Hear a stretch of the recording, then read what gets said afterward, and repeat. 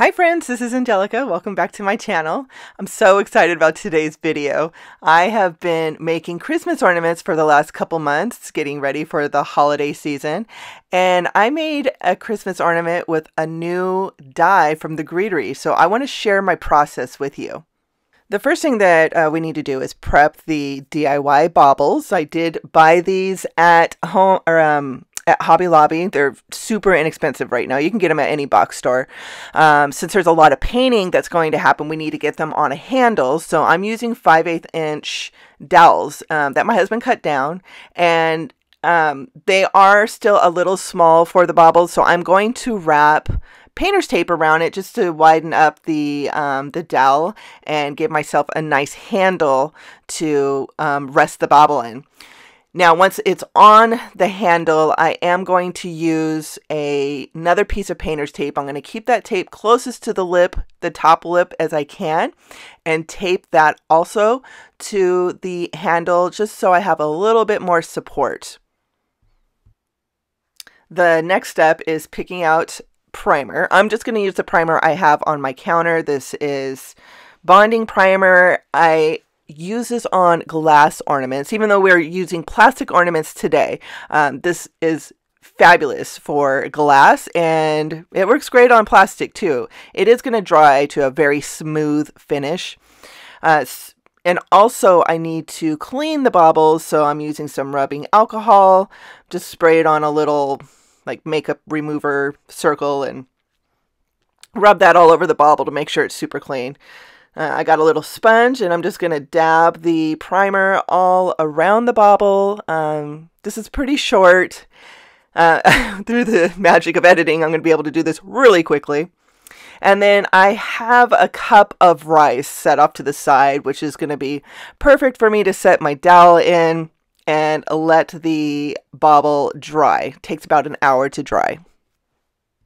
And the last step that needs to be done before moving on to the Greetery product is to add texture to the smooth surface. And we're doing that by adding ripped up napkin, uh, paper napkins. I'm going to be using this Liquitex matte medium to apply the napkins with. I would normally use a black sponge brush for this step, but I am out, so I picked a soft paintbrush to work with. Um, you will want to make sure it's a softer brush because the napkins are going to be really delicate to work with once they get wet. I'm being really generous with the matte medium right now because this is this helps to get the napkins to lay down flat. You don't want to have any air bubbles, so if you see one, you can smooth it out with your finger. Um, having ridges in the napkins are fine. In fact, they're great because they're going to add more texture to the bauble, but you do want to make sure that all air bubbles are smoothed out and that the ridges are lying flat. Um, Needless to say, be ready to get your fingers dirty because they're going to be one of the most used tools in this project. Now it's time for the Greetery product. Um, I've die cut Neenah Solar White 110 pound cardstock with the new Big Branches Ruscus die, and I'm going to use the same matte medium to adhere them to the ornament. Since the branches are so thin, I will be able to manipulate their shape, and the more Liquitex that I use, the more responsive the paper will be to bending smoothly and adhering flat onto the bauble. So this does take a few minutes to do because you're going to need to be patient with the cardstock and let the liquid really soften the paper. And again, you need to be ready to use your finger to really flatten the leaves. This is where your hands are going to get really dirty.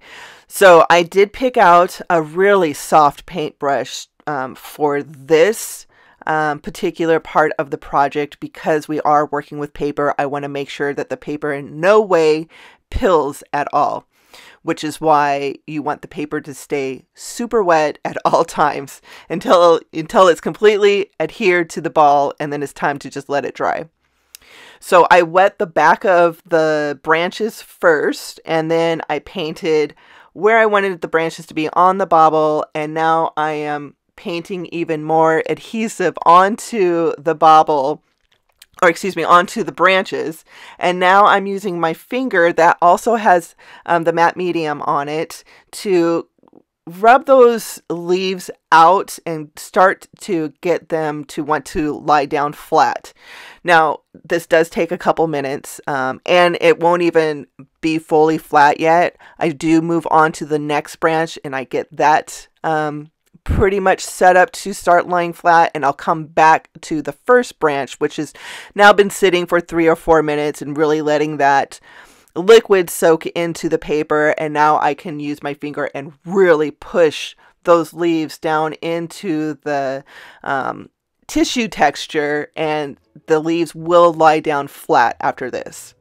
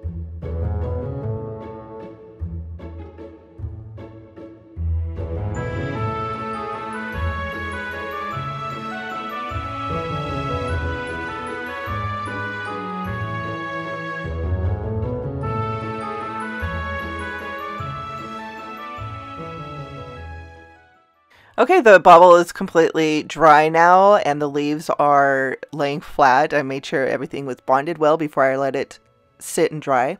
Now we're going to add a layer of paint to it to make it one neutral color. I picked sheepskin paint by Folk Art. This is their chalk line and it just dries to a beautiful ultra matte finish because of these next two steps that we're going to be doing, the painting and then we're adding a wax, this is why I used the Liquitex um, matte medium instead of like a Mod Podge because Mod Podge is fabulous to use for collages and um, decoupage, but it also is a sealer. And I didn't want in any sort of way the paint and the wax to chip off. The wax that we're going to use is antique wax from Folk Art.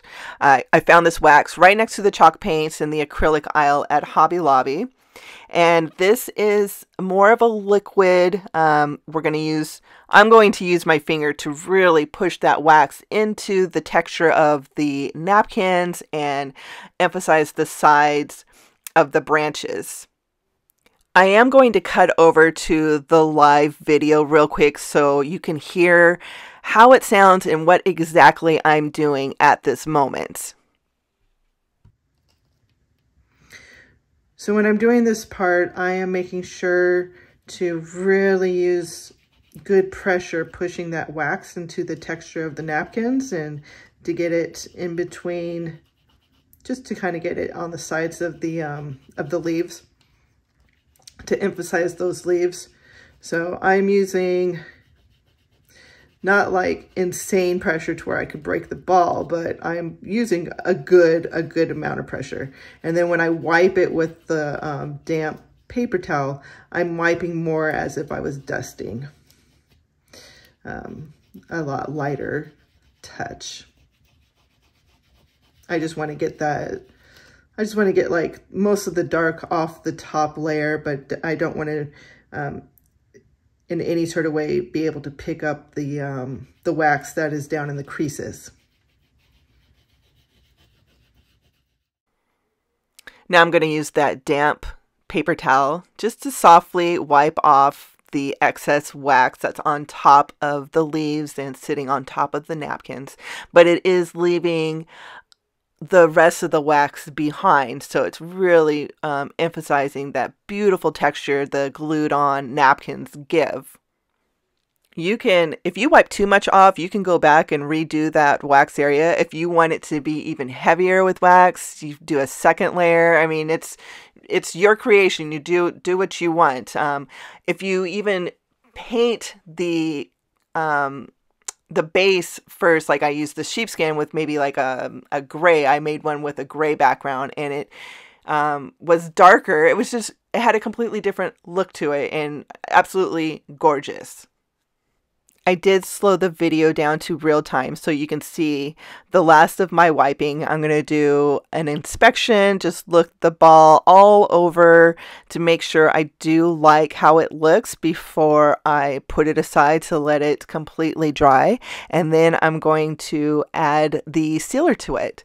And I am going to use Mod Podge for this um, step. I am using the matte finish Mod Podge. There also is a super glossy Mod Podge available. I'm just going to use a soft brush to brush the um, sealer all around the ornament. I'm taking my time. If I see like a big clump of the sealer, I'm just going to pick it up with my brush. And um, again, this is just a, a pretty short process. I do have it at live or at um, normal speed so you can see how delicate I was being. And now it's time to take it off the handle. It's completely dry now. And we're going to get the topper ready. Since it's super shiny, it does not match the bobble right now. This is not a needed step, so by all means, if you like the silver, use the silver. I did go to Home Depot and pick up a metal primer and a hammered color to spray paint the tops with, and that just really antiqued the tops and um, it, I just like the way that this turned out. So uh, I popped the top back in and uh, added a twine loop to it, and that finishes this bauble. I did make a few more, so let's look at the final pictures. This um, bauble I did seal with the Super Gloss uh, Mod Podge, so you can see that it has a nice shine to it. And then these two, the one on the left is the one that we just made, and the one on the right I did paint gray instead of sheepskin, so you can see the different color to it. And um, this one I got a little bit heavier with the wax just to make it uh, a little bit darker. I really like how this one turned out. So tell me what you think. Leave a comment down below. I'd love to hear um, if this would be a project you would want to do. Uh, if you have any questions, let me know.